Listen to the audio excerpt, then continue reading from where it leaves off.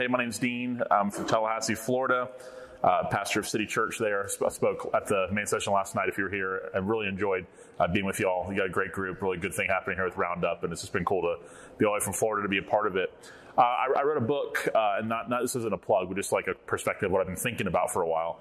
I wrote a book called Pure, and, and the subtitle is like why God's design uh, for sexuality is not oppressive it's not irrelevant. Uh, and I think we need to make sure that we need to reclaim that belief and that conviction. Uh, because what's happening right now in our society is that basic, basic, like fundamental Christianity 101 beliefs about marriage and sexuality have been labeled even by other professing Christians to be outdated, to be irrelevant, to be oppressive, you know, to be misogynistic, to be, uh, you know, not with the time. So we use so many words in terms of what we're just hearing. Not, not, the unbelieving world will always think that. We're even hearing that from Christians now. They're allowing the world's narrative to influence them. And we kind of all do it under the banner of love. To where we say, well, because, I, because we want to be loving, therefore we're going to affirm this, affirm that. It's anything from, you know, no fault divorce to same sex marriage to hookup culture to whatever it could be. Uh, so I think it's really important if we're going to claim the name of Christ that we have to stand firm on what we believe to be true because our most greatest calling on our life, according to Jesus, the most important commandment is to love God. And the second most important commandment is to love our neighbor. Uh, so he actually ranked them in order. Like they asked him, what's the most important? And he didn't go, well, they're exactly the same. He said, the first most important is to love God. And one of the greatest ways you love God is by keeping his commandments. Not to earn his love, but for us to love the one who loved us first. And then second is to love our neighbor. Jesus said these are the two, basically everything's summed up in these two things. So what I tell our church regularly is we're not keeping the second commandment from Jesus if it causes us to violate the first. And that's what's happening now, is in the name of thinking we're doing a good job keeping the second commandment. And by, I don't mean the Ten Commandments, I mean from Jesus that we're actually violating the first one. So I'm just going to walk you through. So I, believe how, from a college ministry here in a college context, uh, how to communicate these ideas and how to really kind of return Christians. And I'm talking about strengthening Christians in this first and foremost. If we're going to go and reach the world, uh, I think we need to first of all develop a really strong biblical framework of why we believe what we believe. Like how we're not crazy. Again, we're not oppressive. Like this is actually as as Christian as Christian can possibly be. I, I argue that God's design for marriage and sexuality is as clear in the Bible as love your neighbor. It's as clear in the Bible as help the poor. It's as clear in the Bible as Jesus walking on water and turning water into wine. I mean, it's, it's that clear. So I want to walk you through not isolated commands, even though if it's God's word, isolated commands are sufficient, but how there's a framework and a biblical thread throughout the entire scriptures of one grand idea that God has for his people and the actual reason and purpose behind it. So I'm going to start you in Genesis chapter 2. Because I think if we're going to reach a world with, for the gospel of Jesus Christ, we're going to have to figure out also how to communicate this. Because it's become a barrier, it's become a hurdle uh, towards really good Christian conversation and through relationships. Because one of the first things you get asked today is, what do you think about? And they'll ask some kind of sexuality, gender question. So Genesis chapter 2 starting verse 24 through 25. He says, This is why a man leaves his father and mother. As we've seen the creation narrative, we've seen Adam and Eve created. This is why a man leaves his father and mother and bonds with his wife, and they become one flesh. Now, it's important to know that the one flesh union is more than sex, but it's not less. There's an actual oneness, a one fleshness that occurs between a man and a woman as they were created to be. I'm not trying to be TMI here, but uh, just simply by human anatomy. There's a one flesh union that takes place uh, that allows this oneness to occur. He says, both the man and his wife were naked, and yet they felt no shame. Why is that significant? Well, really important to know this, be, or be reminded of this. The very next verse is Genesis chapter 3. And Genesis chapter 3 is the fall. That's when sin takes place. Why am I bringing that up? Because marriage was created before sin entered the world. So the marriage institution of a man and a woman in a one flesh union that should not be taken apart, that a new family being bonded, that there is no shame in that union. So why does it matter uh, the sequence? Because it shows us that marriage and sexuality is not the problem. Sin is the problem. Like God has given us a good design. Like that he has made for his own glory and by his own creative powers. He could have created any means he wanted to for procreation, for union, for oneness, for relationship. He's God. He could have done anything he wanted to do. But he takes a man and a woman. Biologically, it sufficiently works together. And there's a oneness that has taken place. And because there is no sin in the world, there's zero shame here. So the rest of the biblical story, sin enters the world. These people who have first had no shame now are ashamed. They have to cover themselves. And we can even say the rest of the biblical story is one of shame being taken away and the goal being to restore what took place in the Garden of Eden before there was sin.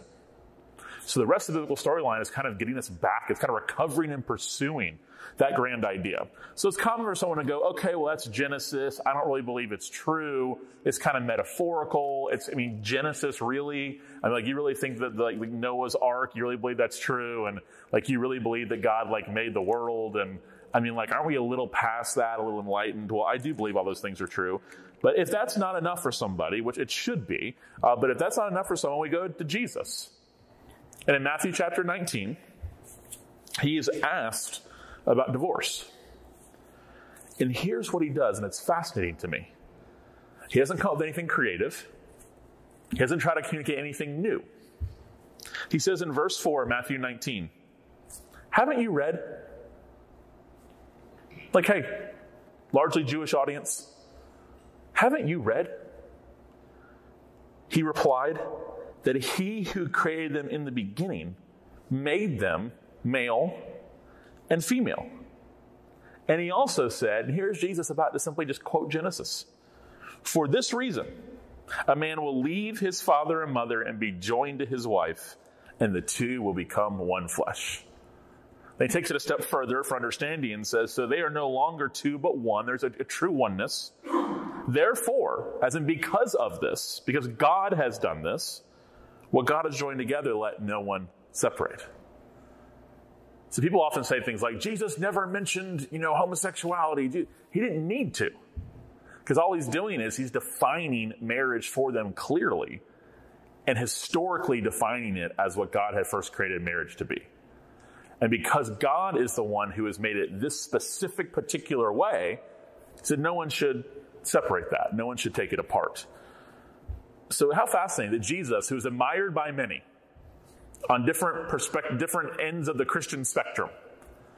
That everyone, and people, some people don't like Paul, some people, people don't like the Old Testament. Everybody seems to like Jesus in the Christian spectrum, from like progressive to fundamentalist and everywhere in between. And here is Jesus saying, Haven't you read? Like you asked me this question, I'm just going to remind you of what God has already said about this, as in it's settled. This is what God has designed. So then we get to see how that plays out into the rest of life and culture. And we get to 1 Corinthians 6. So Jesus has already risen from the graves, already ascended into heaven. The church is being formed. The book of Acts is in play. Paul's on the scene. He's planting churches. He's sending out leaders. And then he starts getting word about how Christians are struggling of how to live out their faith in a secular context. And the believers in Corinth, 1 Corinthians 6 is where we'll be especially, uh, he got word, he got a note from the people there, the church, that one of the things that was happening, well, a few things. One, like there was lawsuits among believers at the beginning of chapter six, and it was hurting the mission or hurting the witness because the Christians couldn't get along. They're like suing each other. They're fighting. He writes about that and says, Hey guys, this is bigger than any of us. Like, what are we doing here? We need to be united. And then he also gets word about the sexual practices that were happening among believing Corinthians. And one of the things they were doing was, again, different era, different time, hard to kind of grasp this as being normal and being a regular thing that was taking place, is they were engaging in temple prostitution. So they would go into the community, down the main center square where the temple was located, and these professing Christian men would engage in prostitution at the temple. So Paul gets word of that and he addresses it. And he says this to them. He says in chapter 6, he says, Don't you know that your bodies, verse 15, are a part of Christ's body. And right before that, he says that the body is not made for sexual morality, but it's for the Lord. So our bodies actually do belong to God. Like we don't have personal autonomy over our own bodies, man, men or women. Like they belong to God. They belong to Him. Like our, he, he purchased us. He purchased our souls. He brought us into His family. Like He is our Lord. So he, first he reminds them of that, and he says, "Don't you know your bodies are part of Christ's body?" He said, "Should I take apart a part of Christ's body and make it part of a prostitute?" And he says, "Absolutely not." Now, that might be, that's a pretty non-controversial verse to read. Because people all over the spectrum, I mean, there's a little movement that wants to legalize prostitution in the United States, but it's a small movement. But overall, people would agree with that that's a problem, you know, engaging in sexual relations with a prostitute. They might say things like it's demeaning, you know, to the person. You know, it, it, uh, they might say that it is, you know, it, it's a act of, you know, misogyny. It's an act of betraying a fellow image bearer. It's using someone. You might say today it fuels the trafficking industry.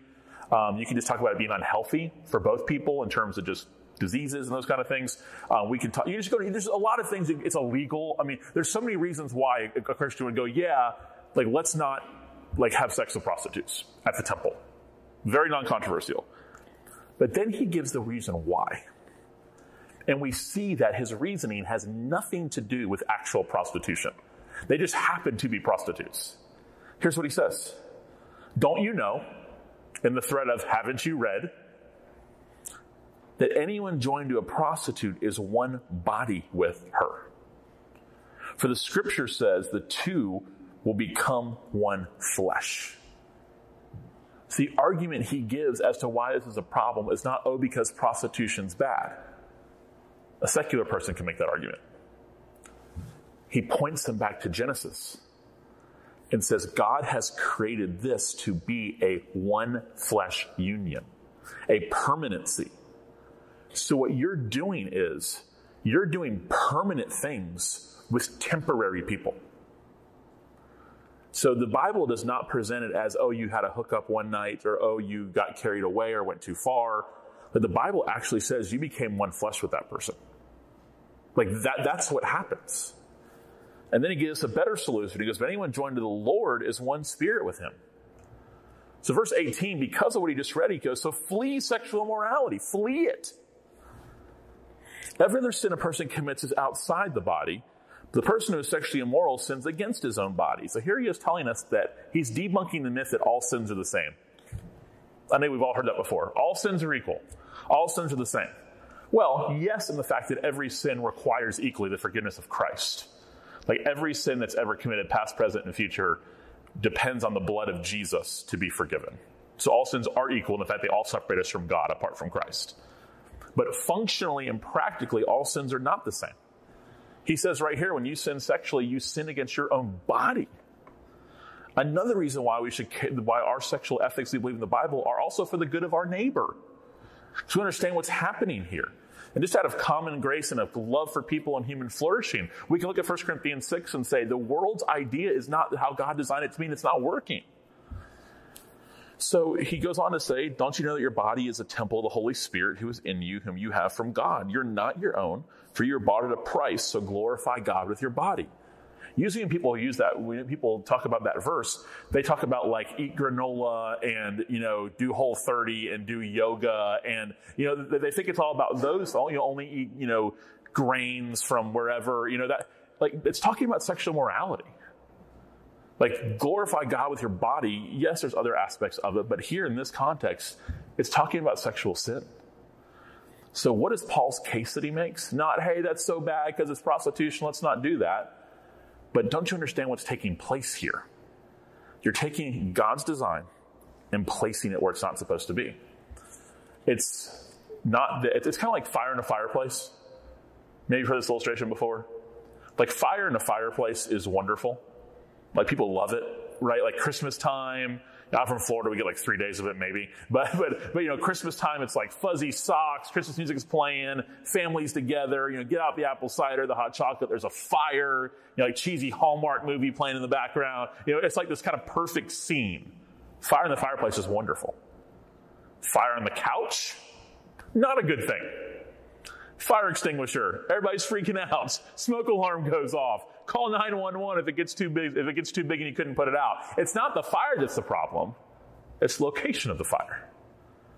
The fire is taking place in an area where it was never designed to be. Fire's for the fireplace, it's not for the couch. In the same way, we could say that when we read the scriptures about God's design for sexuality, that sex is not designed for mature people or ready people or in love people. It's designed for married people.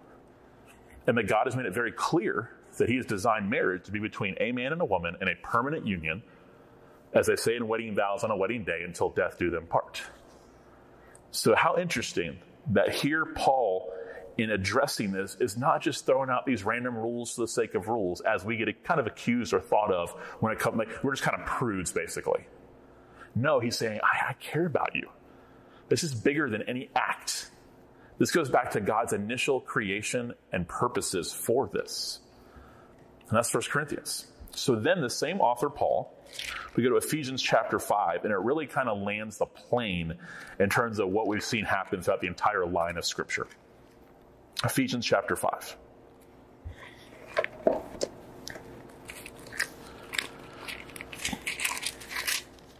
He says this. He's got this amazing talk about the Christian life and being in careful attention how you walk and how you live, and talks about marriage and darkness and light and being imitators of God, like all these amazing things. And then he says this in verse 31 For this reason, a man will leave his father and mother and be joined to his wife, and the two will become one flesh. Have you heard that yet today? Have you heard that in the Bible yet? like here's Paul pointing us back to Jesus, pointing us back to Genesis as historical. He's just quoting it. And he says, This mystery is profound, and it is. I mean, it is a mystery, like what God has designed. It's like just the mystery of marriage and all that it entails. He goes, But, verse 32, I'm talking about Christ and the church. It's like, wait a second, I thought you were talking about marriage. Like, which one? Which one are you talking about? Talking about marriage? Are you talking about Christ in the church? And his answer is yes. And it's like, wait a second, I'm frustrated now. Like, help me out here. You're talking about husbands and wives, and you say one flesh union, you point to Genesis, and then you say you're talking about Christ and the church. And he goes, well, to sum it up, the next verse, each one is to to love his wife as his husband, as, as himself, and the wife is to respect her husband. So it's like, Paul, I'm still standing here confused. What he's doing here is he's showing you that when God created marriage, the gospel was already in mind. The gospel was already in play. It wasn't like God was sitting around one day and was like, oh, some people are going to sin one day. Let's have a plan. No, like this was the, our minds can't even comprehend. Like the plan to redeem a people to himself has existed for all existence. And marriage was a visible portrait of the invisible reality of the union between Christ and the church. In other words, the oneness of a husband and wife points us to the ultimate oneness which is our union we have with Jesus Christ. An important doctrine of the faith is a union with Christ. I'd love for you to write that down on your own, like research union with Christ. Uh, it's just a really sacred doctrine of Christianity that we really are one with the Lord, that, that we become one with Him. So visible portraits uh, exist throughout our society and out our lives and throughout scripture and culture.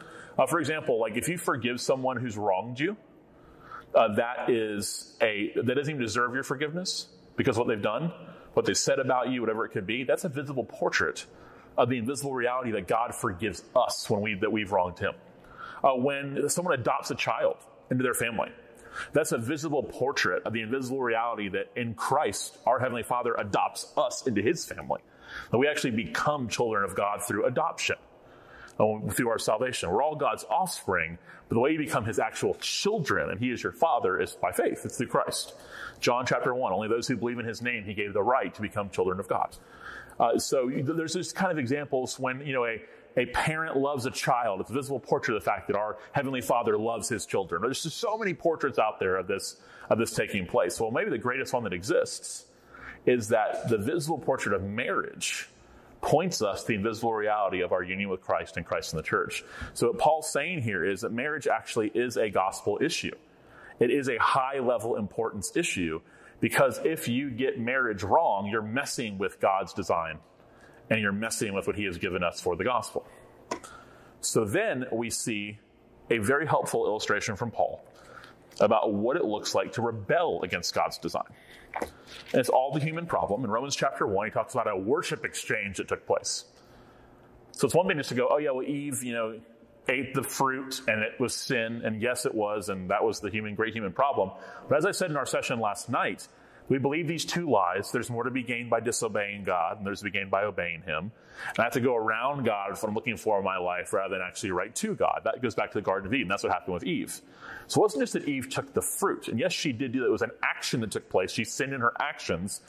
But it's even bigger what took place according to the scriptures. Eve made a worship exchange. She said, God, no thanks. I don't want to worship you. I want to worship basically me. I want what I want for me. So Romans 1 really begins by laying out the case of how, before it gives one of those beautiful presentations of God's love for us, understanding the gospel, the good news, it lays out the case of why we desperately need that love and need that grace and need that forgiveness. And it's because we've made a worship exchange. He says, For all although, verse 21, for though they knew God, they did not glorify him, God, or show him gratitude. Instead, as there's an alternative action, their thinking became worthless and their senseless hearts were darkened. Claiming to be wise, they became fools. And what did they do? What did we do? We exchanged the glory of the immortal God for images resembling mortal man, birds, four footed repti- animals, and reptiles. That's one of the reasons why we call the cross of Christ and the fact that we receive his righteousness the great exchange. He took on our sin and he gave us his righteousness. So, in, in other words, we made an exchange and said, God, no thanks.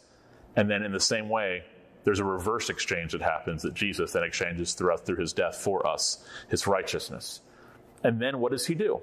He gives a visible portrait of an invisible reality. Just like he does in Ephesians chapter 5 about men and women, husband and wife, Genesis chapter 2.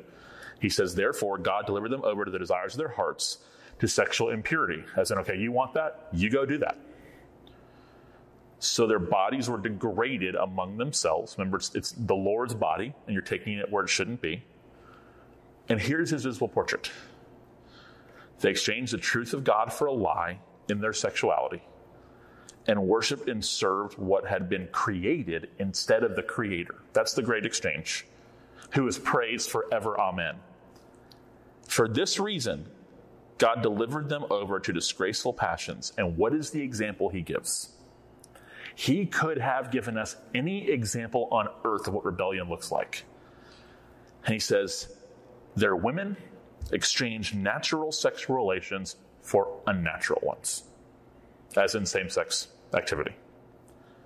Verse 27 the men, in the same way, also left natural, as in how God created the relations to be, natural relations with women, and were inflamed in their lust for one another men committed shameless acts with men and received in their own persons the appropriate penalty for their error. Because they liked men less than that, or excuse me, more than that, but not less. Not because of that specifically, but because they rebelled against God. That's the big issue. So then he says, and because they did not, here it is, think it worthwhile to acknowledge God, God delivered them over to their corrupt mind, so they do what is not right. Then he goes on to list all these specific sins. So he says he's not singling this out. He goes on to talk about greed and evil and wickedness and envy and gossip and deceit and malice. Like he's talking about all these things. But why would he have locked in on same sex relationships as his example of his visible portrait of invisible realities? Because he's saying, here's an example of what rebellion looks like. God, as a man, I don't want what you have made for me, a woman. Instead, I want a man. God, as a woman, I don't want what you have made for me, a man. Instead, I want a woman. And he's going, here's a perfect picture for us of what it looks like to rebel against God. Is he saying that those who sin by same sex relationships are worse than, uh, than people who don't sin that way but sin other ways? No, he's not saying that. He's saying, here's a portrait for you to understand exactly what rebellion looks like. In the same way, men and women, a man and a woman, husband and wife united together, points us to the gospel. A man and a man together sexually points us to rebellion because it's anti creation. So, what has happened in the meantime? In the meantime, we have just not known what to do with the full speed, like Romans 1 on steroids, that is all around us. So, what I am seeing well intentioned, and I think people who love Jesus and are trying to be faithful do, is either be silent on this issue or cave on this issue.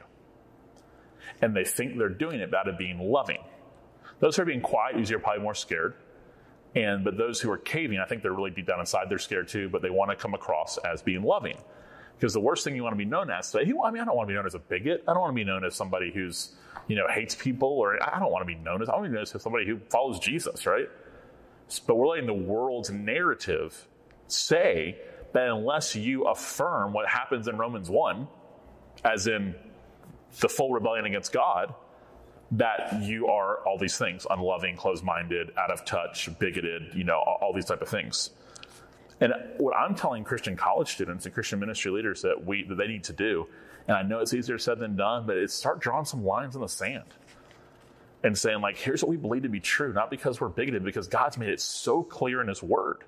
That doesn't mean you stand on the corner of the student union and scream at people when they walk by if they're holding hands with the. No, what I mean is in our own ministries that we hold this up as and we really believe this.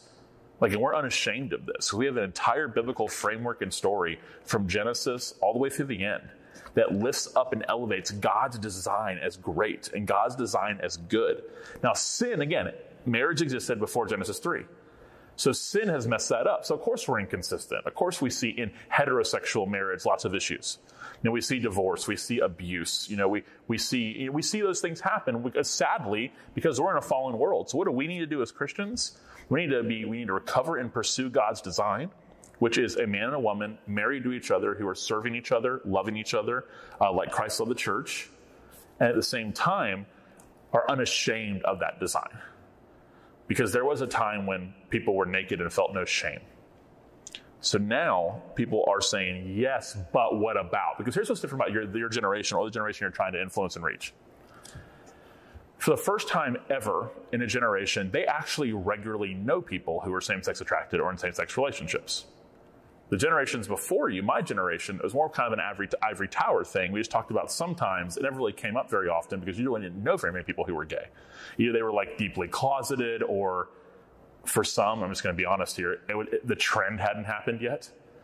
You know, so there are some that I think deeply wrestle with these desires. They're they're really wrestling with them, trying to figure out how to do these. Like they really figure out how to live their life faithfully with these desires. There's others who just kind of jumped on the bandwagon, right? You see a lot of uh, girls being influenced, uh, young teenage girls towards transgenderism via TikTok and other in other ways. It's like a it's like a phenomenon that's taking place. Like the percentages are like 25% of Gen Z uh, um, identifies as, as homosexual. It's like how's that even possible? But the, like, how's that impossible? And, and the world wants to go, well, they're finally feeling free to say it out loud. I just don't think that's true. I, I think it's being cultivated. I think it's being influenced. I think it's being manufactured. That does not mean I don't think there's people who really do struggle and really do have, are really trying to figure this out and are really having a hard time and really do feel the way they feel. Um, what I'm saying is that cannot allow us to retreat on this issue if we really do love God and love people. Uh, for example, um, I am, you might say, what if you're born that way? Okay, and in a fallen world, I mean, of course, I'm going to concede that's possible. We live in a fallen world, right? Why would that not be possible? Uh, so everything about us has fallen apart from Christ. So I am. This, this, this, uh, is that an Amber Alert? I'm oh, sorry. So sorry, people listening to recording. We had a buzzer go off. My bad. Uh, so um, I hope this isn't TMI, but I am someone as a male who I think I was born this way to be attracted to women. Okay, I'm, I'm, I'm, a male. I'm a heterosexual male. The great minority of our world today uh, on social media. so, not in population, but social media. Um, so, however, because I'm attracted to females, who I believe, I believe God made me that way, that that does not give me the right to lust, pursue, engage, do something physical, be inappropriate, say something out of bounds to another woman.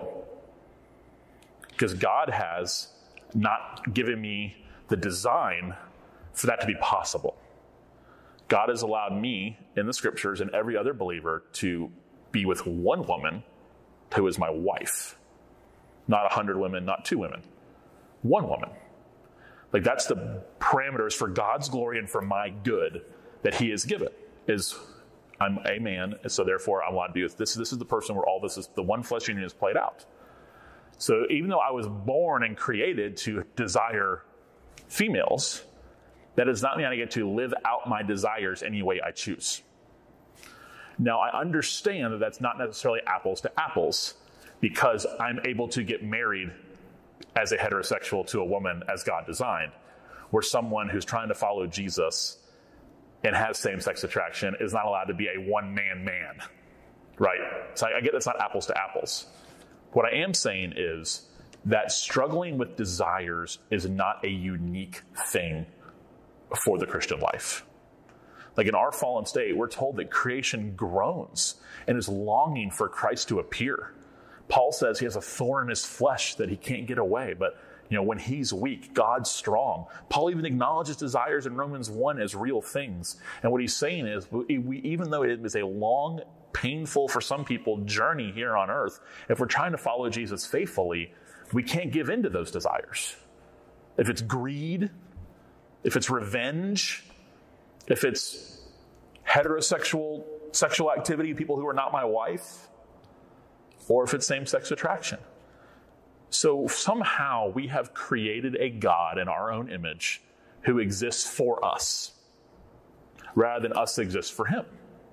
So it sounds crazy, even in Christian culture, to suggest that God's will for someone is for their holiness. So, better to be someone who struggles with same sex desires and remains celibate and single than to act on those desires, even if it lasts your entire life here on earth, because we believe this world is temporary. And we've forgotten that. So, what we've done, we've let our emotions and messaging manipulate common sense from the scriptures of things we know to be true, where we'll be staunch about the need to go to the mission field and that we believe that Jesus is the only way and we believe we should help the poor and we believe, we believe in power of prayer. But something that's just as clear in the Bible, we think it's almost outrageous if you proclaim it and call people to it. So we have a person in our church who came to me about 10 years ago, a really faithful member, and he's a single guy. He's in his upper 30s probably. And he's a small group leader. He came to me, asked, asked to meet about 10 years ago, still, still active in our church. And he said, Hey, can we get together? I need to talk about something really important, you know, kind of confidential. And I said, Yeah, yeah, come on. So he comes by my office and he goes, So I just need to let you know something. You know, I'm leading a group now. I said, Yeah, it's great. Thanks for doing that, for giving your time. It's really awesome. He goes, Well, I need you to know that I'm gay. And I was like, oh. And I said, okay, what do you mean by that? And he was like, what do I mean by that? Like, what do you mean? What do I mean by that? Like, like I'm gay. I'm like, I, I understand that, but like, what do you mean when you say that? I wasn't being combative. I was just asking him. I think he was nervous, you know. And and um, he goes, I don't understand the question. I said, so like by saying you're gay, are you like hooking up with men? Like, do you have a boyfriend? Like, like, are, like what do you mean? Or do you have desires? Like, what do you? He goes, oh no no no no no no no no no no he said, I, I, like, I believe clearly in the Bible's, the Bible's clear design for sexuality. I just have same sex desires that I struggle with. And I just want to be upfront with you about that. And I just, I want to make sure that doesn't disqualify me from leading a, a small group. I said, of course it doesn't. I said, I, I said, absolutely not. It doesn't disqualify you. I said, I appreciate you coming to me and being honest about it. I said, but here's the deal. I said, you're a single, in my eyes, you're not a same sex attracted person. You're a single man who follows Jesus. I said, so, I said, however, I understand that you have struggles. If you need someone to talk to about your struggles, I'd be glad to you know, be in your life and talk about those kind of things. But I don't put like qualifiers before Christian. Like, I think you're a Christian. And I think your status is that you're a single male. In the Bible, there's only, only categories really are like widow, married, single. Like dating's not a category in the Bible. It doesn't make it bad. It just makes it kind of hard to figure out. Like we invented dating, you know, like it's just, it's, so, um, so I told him, I said, so here, I just got here's my expectation on you. I said, my expectation on you is the exact same it is on everybody else. For the married person that's a small group leader, my expectation on them when it comes to sexual ethics is that they live out biblical sexual morality, which means the only person they're able to be with is their spouse. My expectation is the same of you. I said, but first, we have a lot of single adults who are small group leaders. My expectation is the same one. They're not hooking up, that they're not, like they're actually living their lives like in, in purity. Like they're living, they're pursuing God and living holy lives their sexuality that honors Him. I says, my expectation is the exact same on you that it is on them. And he was just like, huh, I never thought about that. I said, there's one catch. He was like, oh no. and I said, you have to fully reject the lifestyle. I said, I don't mean online or verbally. I'm like, you can't like date a guy. Like, even if it's like innocent and like, you know, we have to reject that as an, like, even if you don't ever touch each other, like, like you can't, you can't have a boyfriend. I said, because that's just totally out of step with Christianity. And he's like, oh, I totally get that. I said, he goes, I don't want to. Like, I want, I, goes, I want to marry a woman because I just have these desires, you know, that I've had since I was a young boy that are same sex. I know there's a lot of layers and it's really complicated and, and like and all, and all, those things. And he's still a group leader and still thriving in our church. But you know what he's doing? He's living his life as a single man, following Jesus in community with the church and other Christians, and he's refusing to act out the desires he has. In the same way, I would call a heterosexual single person in our church to be able to do that. Again, I understand it's easier said than done. But Jesus also said to pick up our cross and follow him.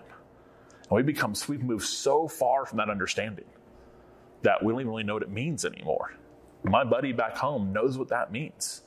Like for him, it's that. For some of our folks in our church who are 40 and single and heterosexual, like they, they know what that means. Not that it's a curse, not that it's bad, but like sometimes they do get lonely. Sometimes they do long for marriage. They do long for, and I say it's okay to long for things. But as we long for things, we continue to live in God's design because He hasn't called us to anything else but holiness.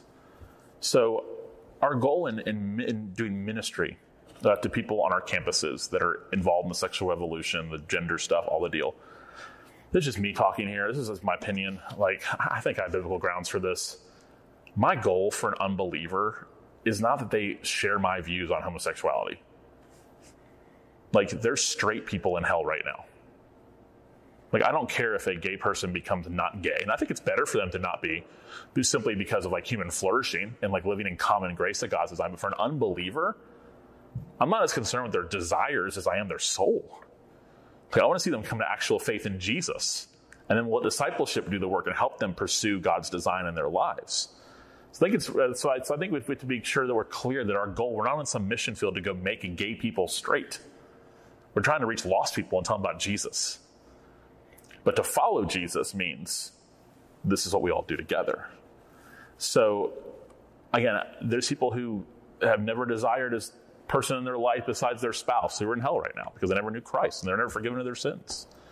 So we need to make sure we're clear on the mission. And the mission is not to go win some culture war. The mission is to make disciples. But in our disciple making, this has become a huge issue that's right in front of us all the time and it becomes a hurdle towards evangelism because the church right now is kind of viewed as like, oh, you're the ones that are like obsessed with gay people and like, you know, hate gay people and all these things. And it's like, actually, no, um, we're sadly having to react to it. Why does the church always talk about sexuality and why, why is it always such a thing? Why? Well, if people, why don't you talk as much about stealing or gossip? Or I'm like, well, if somebody started writing books and preaching sermons that it's okay for Christians to gossip, we'd probably spend more time talking about that. Like if somebody wrote, wrote a new, did, did a podcast on why it's okay for Christians to commit adultery, we'd probably spend more time talking about that. When you have professing Bible believing Christians who claim this that are saying that, oh, it's okay, yeah, that's why we haven't talked about it a lot. Because it kind of is the issue of our day in the same way Paul talks about things in here that were the issue of their day. I don't have to talk about temple prostitution on Sunday morning very often because our church in Tallahassee is not dealing with that. You know what we are dealing with? Sexual morality people doing permanent things with temporary people. But you know what we have? We have a message of life change. We have a message of redemption, of you don't have to stay in that sin. You don't have whatever the sin is, right? So we want to be people who lift up Christ, but lift up the gospel in these places where people where there's brokenness. So the place there's probably some of the most brokenness right now in our culture is family issues, right? It's internet issues with pornography. Um, it's un, you know kind of unmet expectations. There's a lot of there's a lot of brokenness there with people who were promised the world and it didn't work out. So now they're bitter and they're angry. Um, there's the gender and sexuality issues. Like, so we have a chance to really do that, to really proclaim Christ here. So I think there's kind of four things we're seeing right now, and I'll, I'll be quick on this. There's there's four things, and those are number one in our culture is that marriage has become a capstone rather than a cornerstone. And I read about this in my book a lot. How I don't think there's an age you have to be married by. I don't think anything like that. I'm not to be that like weird Christian guy that thinks you to be engaged like when you're 19 or whatever. Um, that's great if you are, I think, but I don't think it's like I don't think it's some kind of rule. But marriage is designed to be what you build your life from together. It's become now what you build your life to. So what you're seeing folks do now is after I get all my degrees, after I save $100,000. That's actually a real thing. People think you should have to raise $100,000 or, or, save $100,000 for you get married. I'm like, who's ever saved $100,000? like, that's a very rare person, right? Uh, and, and um, after I backpack Europe and study abroad and, and knock six items off my bucket list, or after we live together for four or five years and make sure we're compatible, then, and only then, we consider getting married. I guess we will rather than it being something we build our lives to, which has created a lot of things. That's one's created a lot of sexual morality. It's created a lot of confusion, a lot of brokenness, because now dating has become kind of fake marriage, where you have all the benefits of marriage, companionship, sex, um, you know, share share a rent, whatever it could be, without the covenant of marriage. So it really is kind of a faux commitment. So as marriage is delayed longer, you're seeing these people that are in dating relationships for three or four or five years. And for a Christian, it doesn't really make sense because the goal is not anniversary as a boyfriend or girlfriend. the goal of dating is to pursue marriage. So for people that are 26 years old and have had the same boyfriend or girlfriend since they were 20, it's kind of like, what are you doing? Like, if you're a believer, why aren't you moving towards marriage? And they'll say things like, well, you know, we want to save money. It's like, well, wait a second. You can, like, you live together, so you can both afford to pay your rent now. So when you got married, couldn't you still afford to pay your rent together? Oh, yeah, but you know, all, all these things. Well, here's what we're saying we're saying that financial stability is more important than sexual morality. And then there's, and we're talking about Christians here. And then there's a couple. It's like, yeah, we live together, but we're not sleeping together. It's like liar, liar, pants on fire, right? Okay, so you know, like, like I'm worried about you now, you know, kind of thing. Uh, so, uh, as my kids would say, liar, liar, pants on fire. So, uh, I, but I think one of the biggest issues is we're delaying marriage too long. And I don't mean that like you should rush into it. A lot of times, the reason why someone isn't married is they just haven't met someone yet that they want to spend the rest of their lives with. Okay, those are all yes, yes, yes. I'm not, I'm not, I'm not trying to shove marriage down your throat. What I'm saying is that dating is not a category in the Bible, which means that we had to make it up, which we had to make up the rules, and the world made up the rules for dating. So it doesn't make dating bad, it just makes it neutral. So, but in our culture, the way you meet someone is through dating. So we had to participate in that. You know, as Christians, we participate in our world system. So the complicated is how, as a Christian, do I live this out in that context? And what usually happens is you see like a fake marriage. They wouldn't call it that, but like, you know, like, a, like a fake marriage. Um, I saw there was a couple in our. I felt so I felt so bad. Everybody's making fun of me. Um, but I there's a college uh, couple in our church I follow on Instagram. Uh, one of the guys and, uh, and, his, and his girlfriend, and um, they took these pictures on the beach, and I thought they were engagement pictures. Because it was like the most like professional like they're like gra- they're grasping each other and like he's like bending her over like this like in a dancing move and there's pictures of them like kissing and it's like these really well done pictures. I thought they got engaged. So they just like posted the pictures. And i commented congratulations so happy for you guys as their pastor on instagram. And it was just them taking like couple pictures. And I'm going, I don't think it's a sin to take pictures like that. I'm not going to be that. I'm not, I'm not, not legalistic, but I'm like, isn't that kind of weird? like, like you're just like what? Like that's you're taking pictures as like boyfriend and girlfriend, like you're married. And what's next? Like Christmas cards from each other to get like combined Christmas cards? Like, like what's next? You know, kind of thing. I'm not saying I'm just trying to give us perspective about like what dating's become in our culture. Is become it's like a pre. It's almost become like a a JV version of marriage, and it was never designed to be that. So we need to point people towards. So I would tell someone that if you're not ready to get married anytime soon, because you have some plans that are pretty set in stone, go study abroad, work on your PhD, whatever it could be, or student, and you're going to be around a lot of students who are, you know, who are in that boat. If you're a Christian, again, I'm not talking unbelievers, not the Christians. I just wouldn't date them. I just wouldn't date until then, until you're ready. That doesn't mean there's pressure on you. The first date you go on when you're ready means you have to like decide right then if you're gonna get married. I'm not saying those kind of things. But if marriage is nothing and you have any desire to do anytime soon, it's fine. Why would you date? Like why? Because you're creating an environment where you're doing things as a couple. Like because I, I had a guy in our church one time say that he believes that from a college student, like it was really kind of, like, kind of profound he said the only thing that changes when you get married as a Christian shouldn't be just that you can have sex now. Like there's much more to it than that. So you see couples, dating couples that like emotionally are so attached to each other and act like they're married and like, like things that aren't designed to be for someone who isn't your spouse. So just be careful, you know, so just, just be careful those kind of things. And, but in our culture right now, marriage is a capstone, not a cornerstone, and the church shouldn't mirror that, is what I'm saying. That we should value marriage as God's design and, try to build our lives from it, not to it as a destination. So I hope that's helpful, that thought. Um, and the second thing is that porn is the norm. It's a huge issue right now. You almost have to assume, uh, especially the men in your college ministry, that there's a decent amount of them that struggle with it. Uh, it's become an issue for, for women as well. Um, it's it's one of those things where I, I, for some reason I always still get I'm still surprised.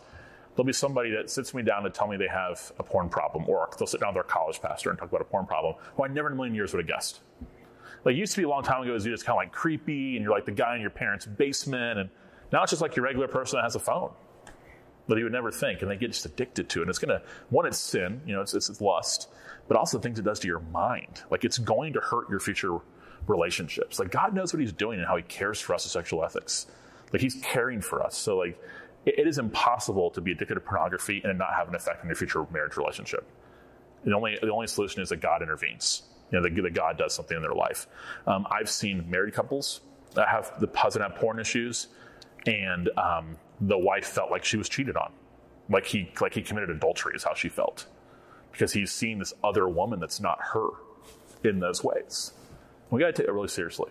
So uh, there's ways to do it because I know it can be very embarrassing for people to confess those kind of things.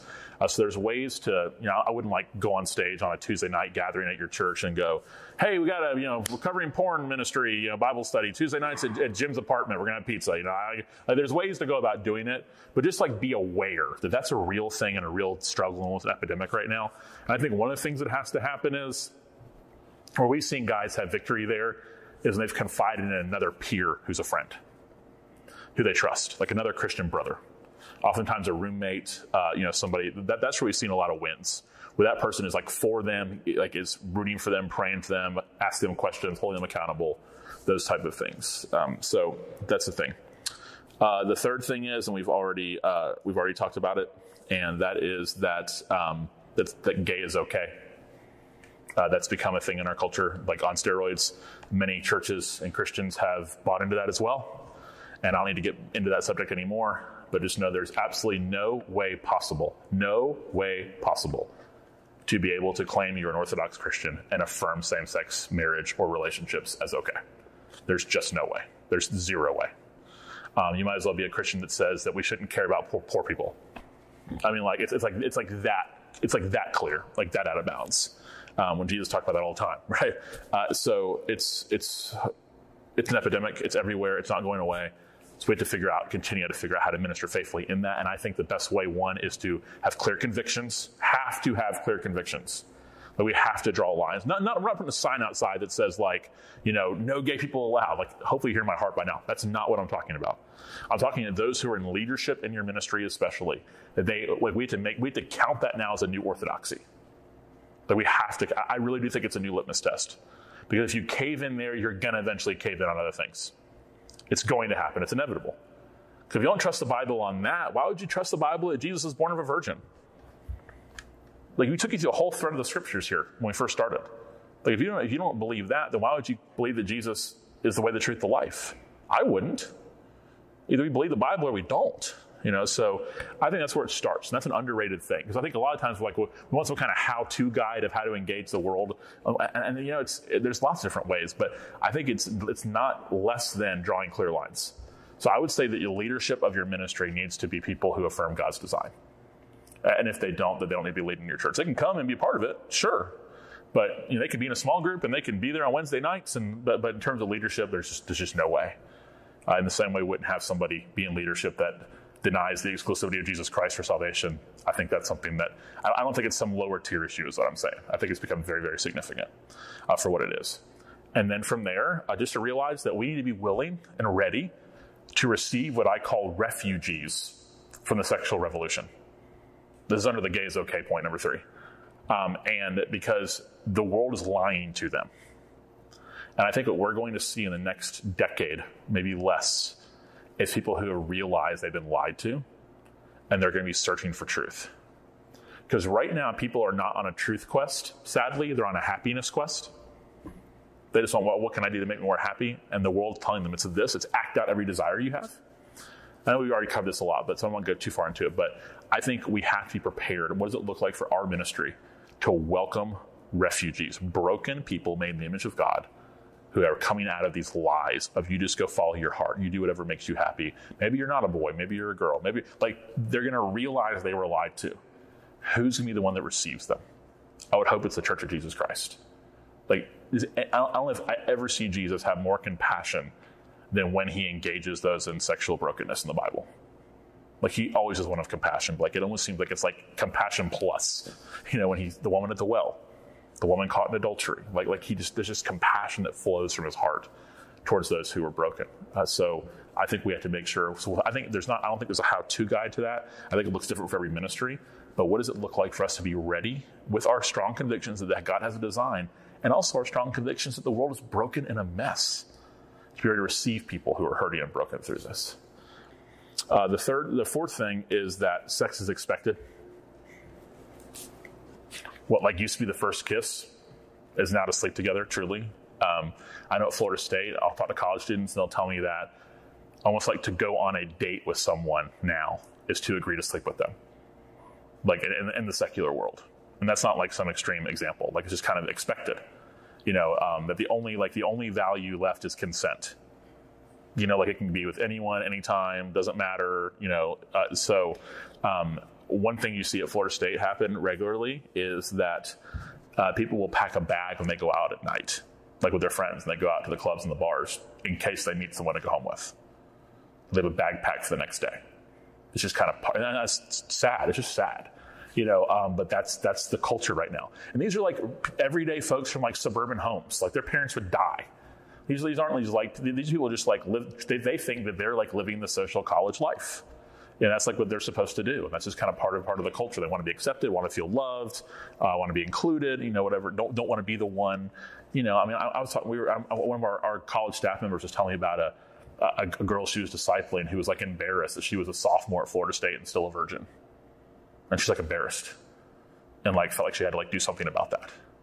And it's like, okay, here, let's start this discipleship journey. It's going to be a long one, you know, kind of thing. But, but that's just the expectation, you know. But what's going to happen? She's being lied to. And she's to, you know, she's to feel brokenness. She's to be engaged with someone who doesn't care about her, but just wants her to be, you know, just wants to hook up or wants her, you know, something along those lines. I don't want to be inappropriate in my language. so I'm being careful how I word that. But, um, but that, that's reality. That's not some fringe example. That's not from some romance novel. I mean, that's like, that, that's what we're seeing happen. This is a regular, everyday state university with sororities and fraternities and sports and just normal place uh, by the world standards of a college. It's probably very similar to what you experience. And you had people that like walk out of their sorority houses or walk out of their dorm to go out with their friends at night, and they, you know, wear as revealing as clothes as possible. Um, I don't know if they're getting revenge, trying to wear a uniform at their private school, K through 12 or what. But they're wearing as, you know, revealing as clothes as possible. I'm not here to judge that. I'm just telling you the story. And, um, and then they even pack a bag. It's not like a one person example. It's like part of the culture uh, that, that that happens. And because like you're hoping that maybe you're going to go home with somebody or meet somebody along those kind of things. So sex is just expected. It's just kind of part of going out. And here's, and I don't mean this snarky, so I would not word it like this around unbelievers or around the wrong Christian context immature people, but you almost want to ask the question, how's it working for you? Not in a snarky way, not in a I told you so way, but it's like, is it really working? Like with the world, are you really, like you're on a happiness quest? Are, are you really happy? Like, are you really feeling joy here? Like, yeah, you might have felt accepted and valued in the moment, but you'll hear people tell stories that in, in, in the act of things, they just feel numb. You know, it's just kind of like what you do. Uh, you know, and when you see what, what Paul is telling in 1 Corinthians 6, as I land the plane here, when he tells them that, don't you know when you lie with her, that you become one flesh with her. That is Paul's way of saying it's never just sex. It's never just sex. It is a oneness, and a, uh, you know, Chandler calls it a mingling of souls. You know, of like people coming together in a way that God has designed for permanence, for His glory, for our good, and because that, He's designed it very specifically. He's not holding out from us. He's given us a place to carry out the desires that He's given us that are good desires. They existed before sin, but they're meant to be carried out in the place that He has designed. So, in a world that sex is expected, we have to be clear on what God has given us. And not just a, hey, don't do this, don't do that, but here's the why. And that's why I began by walking you through the Bible story of how the one flesh union plays out throughout Scripture to show us that this is not some like fringe thing, some outdated thing, some like, oh, random passage in Leviticus thing. You know, like it's like this is, this really is God's design for his people, for us to flourish and for us to worship him. So I think one of the great mission endeavors today is to try to live for Jesus in a sexually saturated world. And uh, I appreciate you being willing, willing to sign up for it. And I hope this was helpful and uh, kind of gave you hopefully some assurance and clarity and uh, affirm your convictions about things, but also to show, just to talk about what's going on in our culture and how we don't need to have our heads, heads in the sand. We don't want to remove ourselves from the world. We don't want to resemble the world. We want to reach the world.